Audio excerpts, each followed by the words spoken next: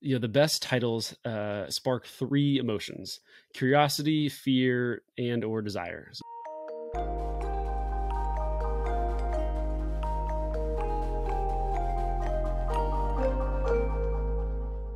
Jake Thomas is a self proclaimed YouTube title nerd. He writes a newsletter called Creator Hooks where he helps you to write better YouTube titles. In today's episode of Creators on Air, Jake shares everything he knows about writing YouTube titles. From writing titles for search or discovery to common mistakes that YouTubers make, there's a lot more to it than you think.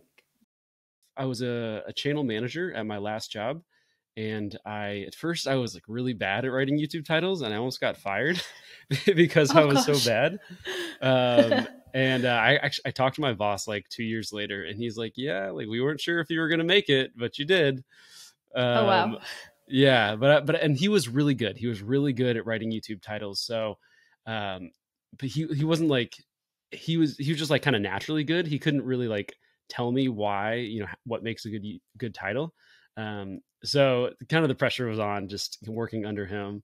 Um, but I finally figured out, and what I kind of figured out was you don't have to like uh, just be totally original. You can just model what works. Um, so an example of this was um, uh, he was on a, a, hunting podcast, and so we're a fishing channel. He uh, he was on a hunting podcast, and he said, "Hey, uh, they did a podcast about uh, newbie hunting gear." So he's like, let's do a podcast about newbie fishing gear. And that worked really well for us. Um, that was like our best podcast of the last like two months. Uh, we had a ton of downloads, a ton of people like opened the email and clicked the email, and we also made a bunch of money from it. So that was kind of the light bulb moment where it's like, okay, you don't need to be totally original. You can just model what works in another industry. Uh, and then like finally, like things started clicking. I started becoming much better at writing YouTube titles.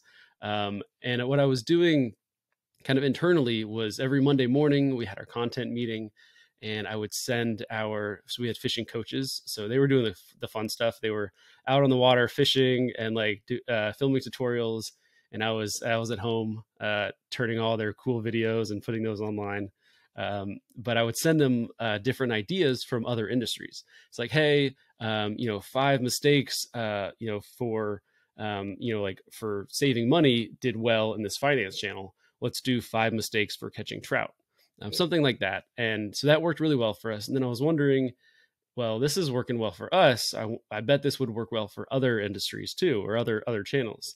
So I started a newsletter. Um, I sent it out to like 50 people, like just kind of like cold emails.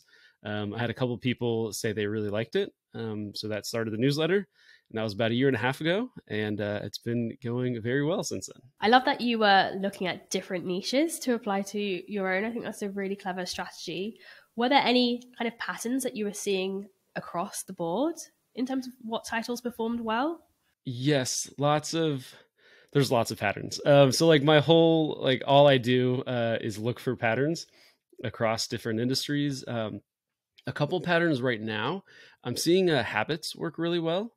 So um, there was a, a channel. So in this morning's newsletter, a channel she had she was averaging like one or two thousand views a video, and then she made a video about like four one minute habits to save twenty hours a week, um, and that got like one or two or like three hundred thousand views.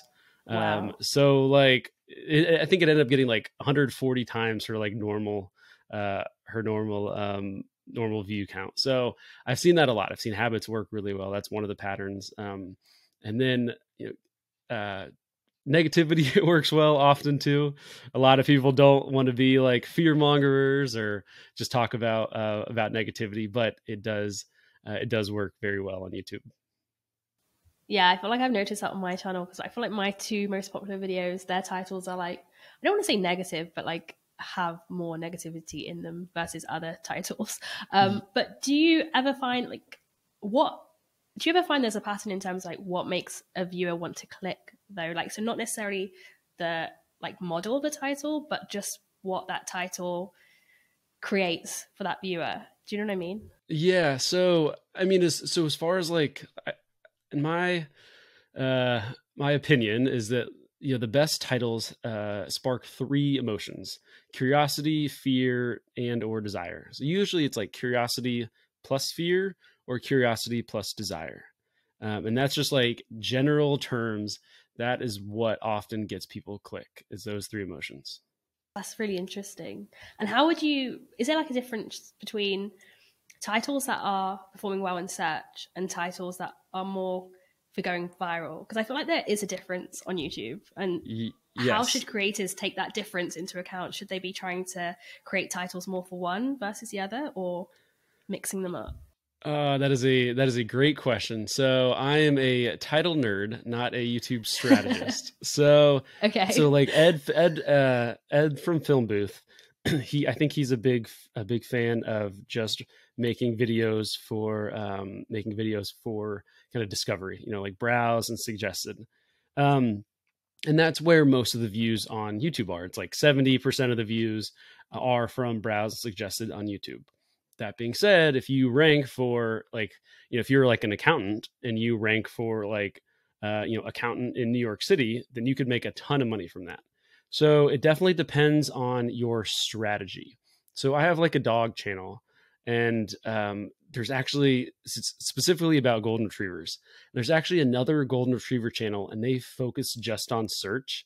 And my channel gets between like I don't know, like 150 to 350 views, uh, 350,000 views a month. And there's a dog channel that only focuses on search and they get like 30,000 views a month. Um, like all of their views are like, all of their videos get like 500 views or like 1000 views. Um, so it's kind of like a lot of, and at least in my, my opinion, it's a lot of work for like not that much, um, you know not that many views so so definitely depends on your strategy if you're if you have a a channel and you're monetizing through um through like adsense and like sponsorships then i probably wouldn't do search um you know because uh you know you're going to want to see a ton of views so i probably wouldn't do search there but um but if you have a service then yes you would definitely want to at least make some videos for search. But then as far as like what um uh you know what titles do do better and, and which one so for search it's pretty it's pretty basic like it just kind of comes to knowing what the audience wants right so what are they searching for mm-hmm. if excuse me what are they searching for and who they are and like why are they really searching so for instance if you're trying to to uh, to rank for how to start a youtube channel if you if you search that up right now, a lot of them say how to start a YouTube channel for beginners. And that's because if you're looking for how to start a YouTube channel, you're probably a beginner. So it's like calling that specific person out um, because you know I'm you're not going to look up how to start a YouTube channel because you already have one. You don't really need to to look that up. You've already done it. Um, but right. beginners know that. So so that in that case, it really comes down to knowing your audience and like who are they so in this case, you know, calling up beginners is a great strategy. Um, also, if you look up like how to get a six pack, almost all of the top results will be how to get a six pack in 10 minutes or like in 10 minutes a day or like how to get a six pack in 22 days or something. So if you want a six pack, you probably want it fast, right? Um, yeah. So so it's it's really knowing your audience. I've seen a couple what I'm calling them click triggers uh, a couple click triggers seem to do better in search. Um, so like calling out a specific audience, usually that's for beginners. Um, time frames. So that's like uh, the six pack example, you know, how to, how to get a six pack in 22 days or whatever. Um, using the current year works well. Um, and that works well, especially for um, technology. So like, you know, if you look at like best laptops, you're going to see best laptops in 2023 um, because laptops are always changing um, right? Like you don't want to see best laptops in 2021 because those are all old. Um, so those three, and then there is one or two more, and I'm blanking on them, but I will find them for you right now. So, um, um, so lists, uh, lists is like you know, especially if you're looking up like best laptops, you're going to see a lot of lists. Um, like the current year, calling out beginner tips or calling out beginners, and then time frame. So lists was the one that I was uh, the, the one that I was forgetting. Um, so that's ranking in search. And then as far as um, oh, and then sorry, also you don't want to like exactly match or you can you can exactly match what the user is searching for. Um, but it, it needs to be close, right? So you can like if you're looking up how to start a YouTube channel, you would probably want to put how to start a YouTube channel. Yeah. Um, you know, just because uh because the audience is going to be like, "Oh, this is exactly what I'm searching for. This is answering my question. I'm going to watch this video." You probably would not rank for like, you know, don't do this if you want to start a YouTube channel. That's not going to rank well in search.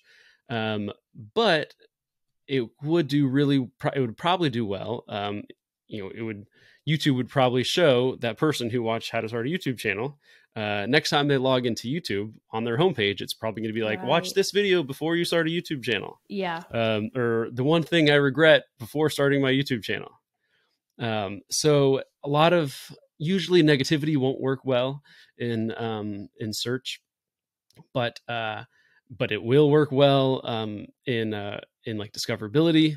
So um, so yeah, so it's different. Um, so in search, yes, you want to kind of give the audience what they want.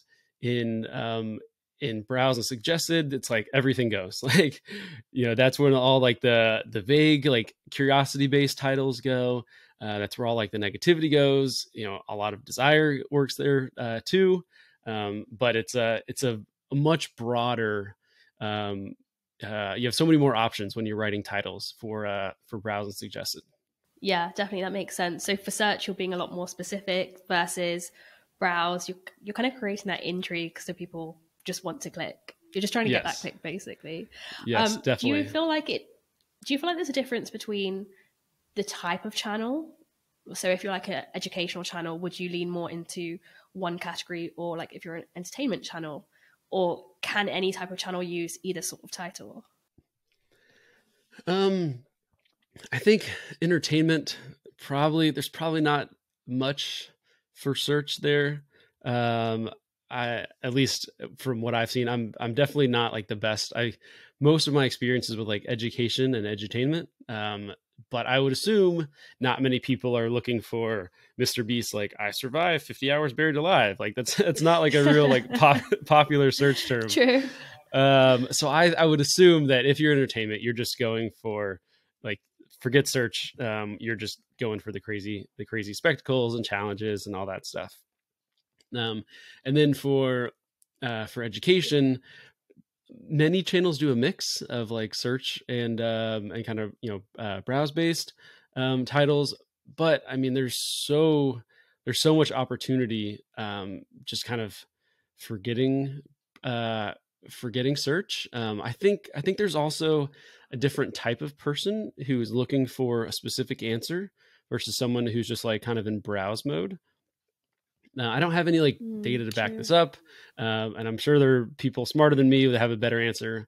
But um, but when I, I- when I changed from uh, from writing videos to rank on search versus writing videos to get uh, like suggested on the homepage or recommended videos, uh, my end screen click through rate went up a lot higher.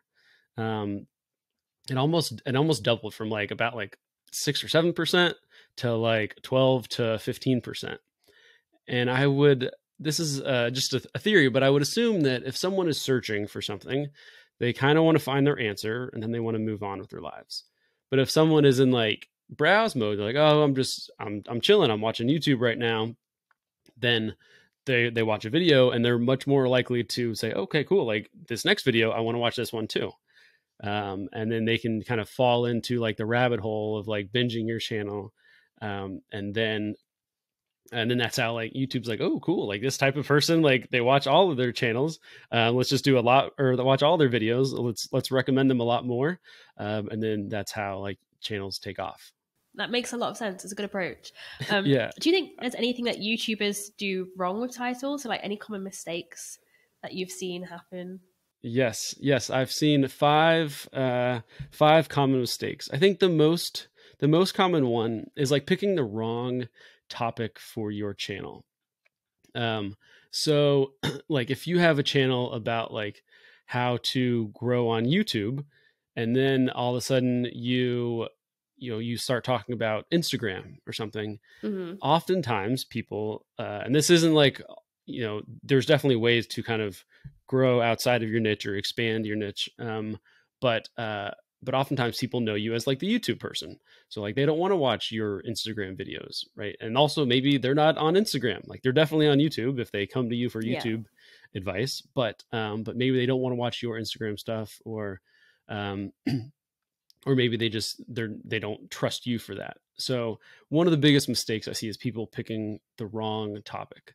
Um and so it could be something as small as that or like you know something much bigger like if i'm like a fitness channel and then i start talking about how i grew on youtube like that's totally different um yeah so true. people like i don't want to i don't want to learn about how to grow on youtube i just want to get a six pack or whatever um so so yeah the, uh picking the wrong topic is is definitely like the biggest mistake there and we can go into the other mistakes if you want yes um, definitely but uh it's up to you no of course i cool. do i need to know um, this stuff so um, speaking the wrong topic, also being too wordy is the next mistake. So there are two reasons why you don't want to be too wordy. Um, the first one is that your titles will get truncated if they're too long. Um, and that depends on where uh, where your where the audience is looking.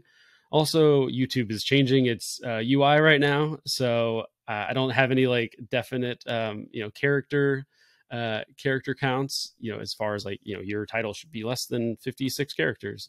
Um, but just in general, you want to have short-ish titles, um, you know, because because you know because your title could get truncated, or also people are skimming your uh, your your titles, right? They're they're they're scrolling through YouTube really quick, and if you have a really long title, it's going to be like harder to read.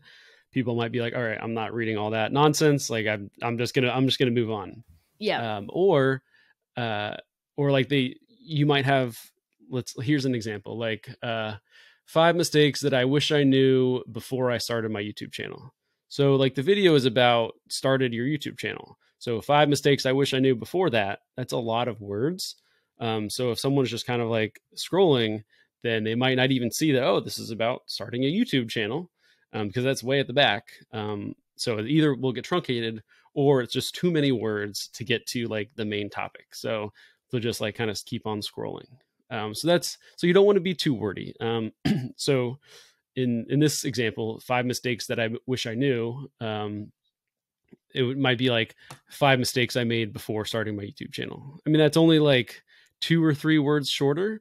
Um, but when we're talking about like 56 characters or 55 characters or whatever, then two or three words makes a big difference. Um, and I, I, don't think enough people know that. So anyway, so being too wordy, um, also being too specific uh, is a is another problem. And I think this goes really. You have to think about what your goals for the uh, for the video are. Um, if you yeah, and this really goes back to like our our um, our talk about like strategy. Like, should you go for search or should you go for like browse and suggested?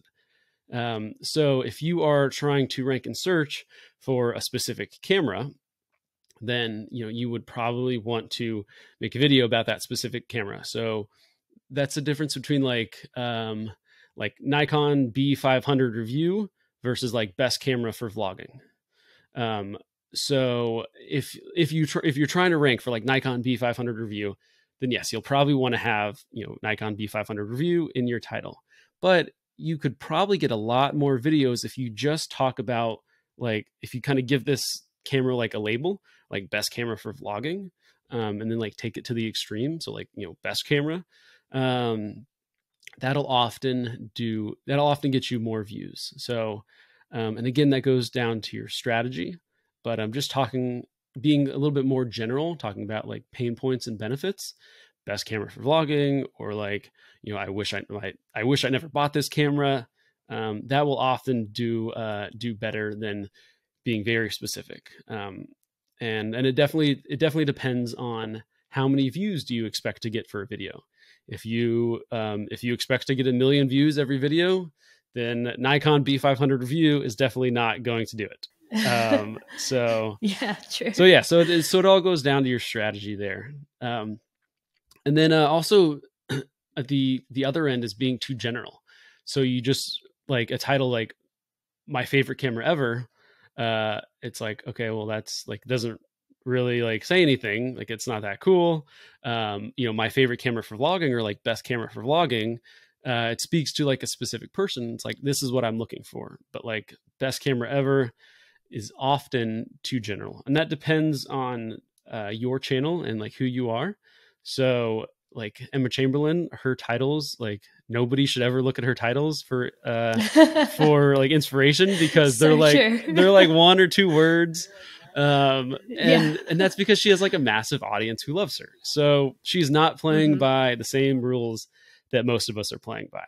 So uh for most of us, for most of us, we need to find that um that balance of like, all right, and like Nikon B500 review, too specific uh, oftentimes it depends on your strategy, but too specific. Best camera ever, too general. You would probably want to go in the middle. Best camera for vlogging, uh, something like something like that.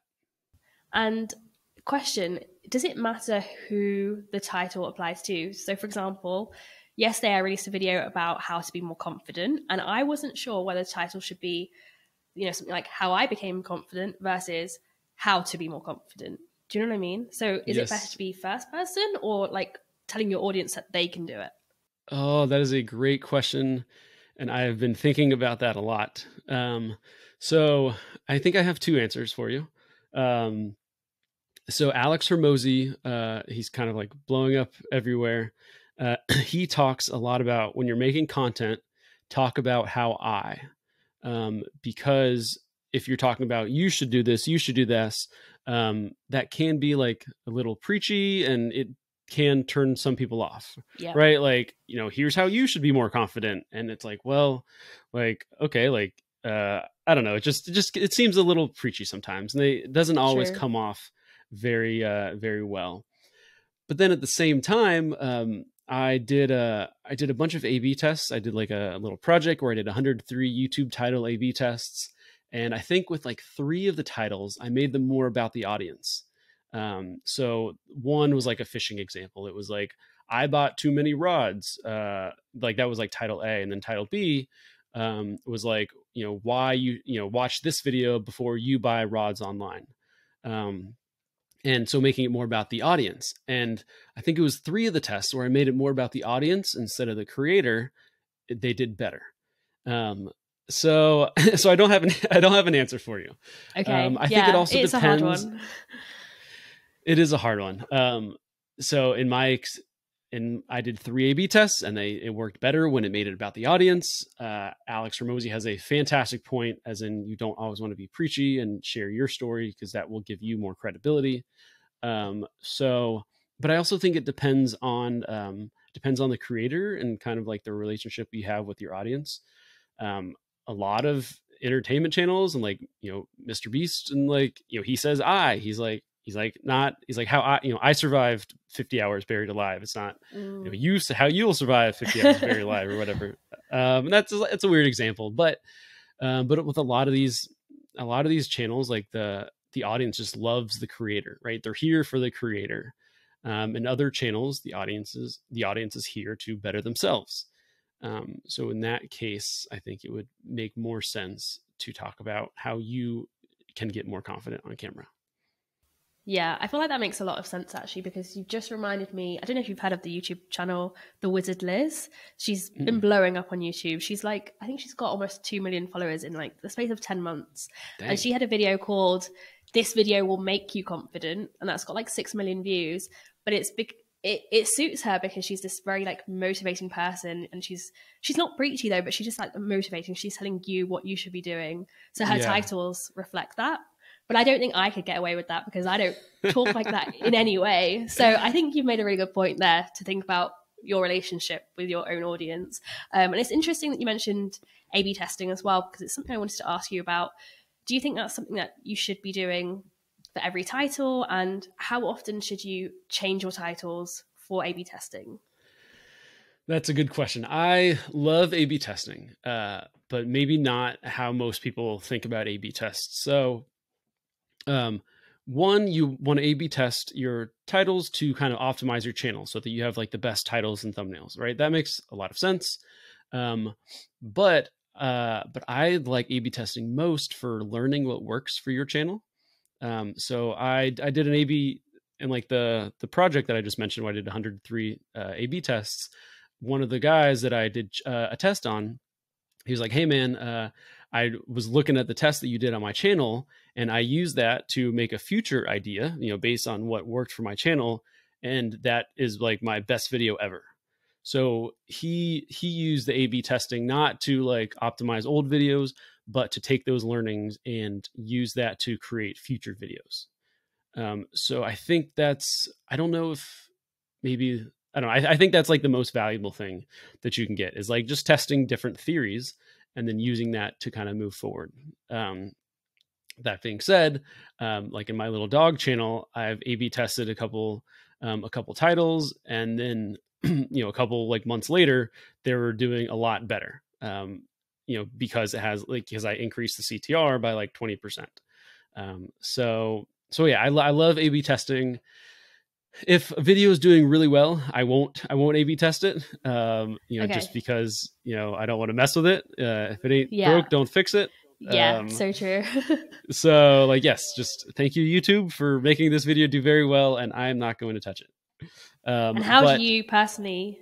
Oh, sorry. How do you personally A/B test them? Like it's like uh like really like tactical nitty gritty stuff. Yeah, like are you using tools or are you? Yeah, just... yeah, yeah, yeah. So I two tools um, thumbnailtest.com um, that uh, that test uh, titles and thumbnails not just thumbnails um, and or tubebuddy uh, they're both great tools. They do the they do pretty much the same thing. Um, i think like you know you have to be on TubeBuddy's like legendary package or something. But yeah i use one of those two tools. Um, i've ran hundreds of a b tests with both of them. I like both of them. Um, and uh, so i usually don't start an a b test until like five days after the video is published. Um, so how both of those tools work is they flip the video or they they you know do title A, title B, and they switch it every 24 hours. So if you start it on like day one, if you do an if you start an A/B test right away, uh, the first 24 hours, um, the title is like it's way more likely to have a higher click through rate because YouTube is showing it to your own audience. Um, and then after that so like so like title a has an advantage right out of the gate. So you're not i don't think you're really getting um, accurate data. That's true. Um, yeah so so that's why i wait like five days to hopefully kind of get more accurate data um, to kind of get like the your like your uh, your current audience. Most of them have hopefully already seen your video um, you know by that time. So so anyway, so so five days after I start the start the title or I start the the test, and then I usually it depends on the size of your channel. So if you have a bigger channel, you can get away with um, running a uh, an A/B test for shorter time frame. If you have a uh, if you have a smaller channel, you would want to run an A/B test for a very long time, not not a very long time, but longer, so that you can get more accurate data. Um, so but i normally do like seven days per um, per uh, variant so on uh, on TubeBuddy you can only do like an a b test so the t- the the, norm, the total time will be like 14 days um, of how long i run a test normally on thumbnail tests, you can do like a b c like d variant um, so if i'm doing three different variants then it'll be 21 days or like four it'll be 28 days um, I would probably only do three. Um, I think four. Like now, you're waiting like a month for like test results, and yeah, I don't know. That's that's a long time. Um, but uh, but yeah, I I would so I would use thumbnail test or uh, yeah thumbnailtest.com or TubeBuddy. Wait five days, run the test for 14 days, and only test one element at a time for the most part. Uh, like I wouldn't want to test a, a thumbnail and a title at the same time because then it's like okay well was it the thumbnail or was it the title? Mm, makes um, sense. I mean you could you could uh, make an argument that like you're you're totally changing um like like the angle. Like maybe you're talking about like you know five mistakes to um or you know you know five mistakes people make when getting a six pack or like um you know 10 uh or, or like you know five tips to getting a six pack so like you know the you might want to have like mistakes in the thumbnail and mistakes in the title, or it'd be like kind of just a different angle. So you can make an argument with that, but uh, for the most part, I just like to do either the thumbnail or the title. And you said that you only have like two variants of a title, but beforehand, do you come up with like loads of title ideas for one idea? And Like, how long are you spending on titles as part of your ideation process? Uh, so it depends. Um, so sometimes I will come up with an idea like right away, and it's like, all right, this is like this is the title. Um, like, and usually that's when I'm modeling like pretty closely uh, from another channel. So like with my golden retriever channel, there's a a video that did really well, and it was like uh, weird cat behaviors explained.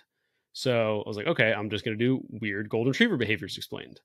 So that's like pretty like i don't really need to like overthink that. Like it's it's a kind of like a one to one thing and that's like it was the same thing with our like newbie fishing gear like newbie hunting gear like that's like that is what it is. Um so in that case it took me about two seconds to come up with a title um yeah but if i'm trying to if if it's a little bit more complicated um then i'll write between like 10 to 30 titles um and i'll try to I'll try to write write them from different angles. So I'll write like I'll think about like curiosity, fear, and desire. So I'll think about like all curiosity, like you know, do this to get a six pack. Or I'll think about like negativity, like you know, 10 mistakes that will keep you from getting a six pack. Or I'll think about like um, you know, like desire, like, you know, I got a six pack in 10 days, here's how. Um, so I would just kind of think all those different angles, write them all down, and then think about like all right what uh you know what's my strategy for this am i going for search or am i going for um, just like for browse and also like you know what is my audience like you know i'll look at um, past videos that have done well like do they like it when i do negativity do they hate it when i do negativity so let me do like you know desire here um, so yeah so I'll, I'll, just you know i'll use a bunch of different um, kind of angles and then writing a bunch of different titles and then kind of narrow them down from there and when you narrow down to just the two that you A B test, do you do them so they're different angles or do you not really think about that? It's just the two that you like the best? Usually, uh, I, I, think both. Uh, both. So sometimes, so I'm I'm a a title nerd, so I will I'll do. Sometimes I'll just test like little tweaks, like oh, does like this like one word does this make a difference, or like capitalization, like does capitalizing this word make a difference? And that's only because like uh, I'm I'm a nerd and I want to know, and I'm also like writing about this stuff on Twitter and in my newsletter. So it's like, okay, I need to do more research than like the average person on titles. Um, but uh, but yeah, sometimes sometimes I'll do both. Like if I if I like the same angle and like two titles are similarly worded, um, then I'll do those. Or other if and if like it also depends on how confident I am in like the angle that I'm going with. Um, if uh like weird golden retrievers beha- weird golden retriever behaviors explained i might try like 10 weird golden retriever behaviors explained. Um, so that's pretty similar um, but that would be something i would want to go with um, or something i might want to test just because like do does adding a number uh, does that help increase the ctr um, so i don't know I, I would do both. Okay and how much do you think about your thumbnail as you're coming up with the title? Like are you thinking them about about them together or separate? Yeah. so I am a title nerd, not a thumbnail nerd. um, I'm like, uh, I've like always been like visually challenged. Uh, I'm I'm not that good at titles. I'm or not that good at thumbnails, uh, which is why I have a newsletter about titles. Yeah. I'm uh, I'm getting better. I'm getting better at thumbnails, uh, but I think so. It depends on uh, like what type of channel you have, but uh, but I think it all it, it all starts with the idea. So um and that's like pretty correlated pretty close to the title, right? Like um so it might be you know how to start a YouTube channel, right? That's like the idea that people want to um like that's what they want. So how to start it how to start a YouTube channel is our idea and then we might write a title how to start a YouTube channel for beginners in 2023. So that's our title but it's kind of like it's really close to the idea. And then like the thumbnail, it's like okay, well, you know, how do we visually represent the idea? Um, so so I it all it starts with the idea, and then I usually this is just me because I'm a title nerd. So idea, title, and then like thumbnail is like a visual representation of the title. Yep, that makes sense. I feel like I've learned a lot about titles in this half an hour, so thank you so much. I'm going to end with a quick fire round, which is a bit more general to creators as a whole. Um, so I'm just going to ask you a question and then just answer the first thing that comes to mind. Let's do it. Cool. So, what's your favorite thing about being a creator? Um, I love research. I love this is like YouTube specifically. Yeah. YouTube gives us so many numbers. I love numbers. Um, that's why I love A B testing because I love doing research and like documenting, uh, just like kind of documenting, all right, you know, this works better than this, or like people love numbers more than like not numbers. Um, so like the re- the research is is my favorite. Oh, I wish I was more like you. That's what I'm not good at. And I'm trying to be better at that, but I suck at it. Um, what gives you the most inspiration for what you create, your newsletter, what you're doing? Oh, um, that's a really good question. Um, just like this is going to sound maybe lame, like searching for truth. Um, so oh, that's very so like deep. that's why I love research. Yeah, I know. I know. Um, and like I feel like that's like not even possible. Like there probably isn't tr- truth, like on you know, when it comes to being like a creator, but um, but I just I love trying to find like I love doing research. Um, you know, so kind of searching for searching for like what you know, the truth about like you know what really gets people to click and Yeah. what really gets people's attention. No, I like that. Um, so just just on that like journey to learn more and more, um, I think that that inspires me and drives me a lot. and what's your favorite tool? Ooh, um, probably thumbnail test is my favorite tool right now. I, I like so thumbnail test is my favorite paid tool. I like Google Trends a lot, um, and that's for a, a free tool. So, like the other day, I was taught, I I just brought on a golf client, and um, and I'm like helping him come up with ideas. And he was like, "Man, why is my uh, why is my channel just like tanking right now?" So we went to Google Trends. We put in golf, and like uh, golf is very um, seasonal so it like it peaks in the summer and it's like tanking in the winter so like just all golf channels are tanking right now because it's just like people aren't thinking about golf right now it's wintertime uh, and so i love i love google trends for that also i use google trends to um to th- consider like if i'm gonna like name drop a person so like for like the the nikon b500 example that we talked about earlier I would put in like Nikon B500 in Google Trends, and I would also put like like best camera ever or something. And you would see probably that like you know like your best camera for vlogging has like way more way more searches than Nikon B500. Um, probably, I'm assuming I haven't I haven't put that in there, uh, but that would help me know like all right, do I use like the the the name for this or do I use like a label for this? So those are my two favorite tools: thumbnail test and Google Trends. Oh, I like that. That's that's a good lesson as well. Thanks for telling me that. Yeah, um, yeah, and what helps you most with your creator work life balance?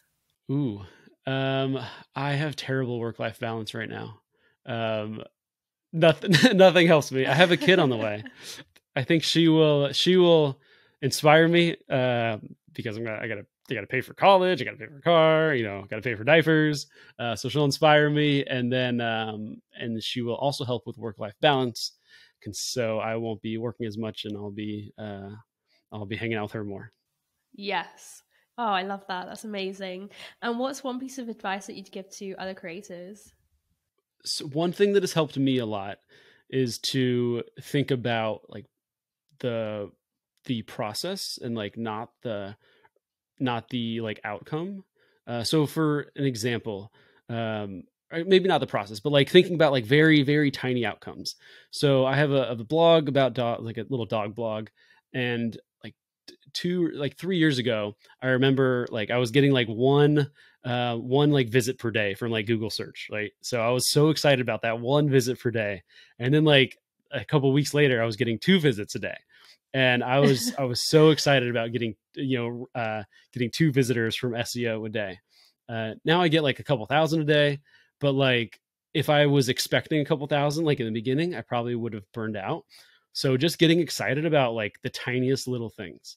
Um like oh i had i had one visitor today i was i was i was so pumped and that kept me going every day. It's like all right let me try to get two let me try to get two. Yeah. uh, and like same thing with like followers on like twitter like um you know oh i got i got an extra follower today i'm at eight now this is great this is this is working so true. so yeah just taking it in like incredible incredibly incredibly small baby steps and uh, and getting really excited about those and letting those motivate you Yeah, I agree. I think you really have to celebrate every win you can as a creator to keep that journey going. So it makes a lot of sense.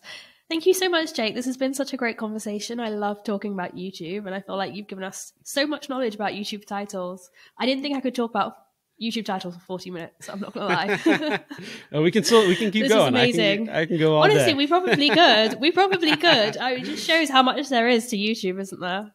Yes, yes, and this is only titles. We didn't, you know, like there's Exactly. thumbnails. There's like Yeah. ideas. There's topics. There's intros. There's retention. All that stuff. YouTube is so fun. It is. But thank you so much for coming on. I really appreciate it. Yeah, of course, Akta. Thanks for having me. This conversation has given me a lot to think about for my own YouTube channel, especially applying the different angles of curiosity, fear, and desire to your titles. If you want more advice on writing YouTube titles, check out Jake's newsletter, Creator Hooks. And if you are a creator, check out Passionfroot. We help you to manage sponsorships, collaborations, and payments all in one place.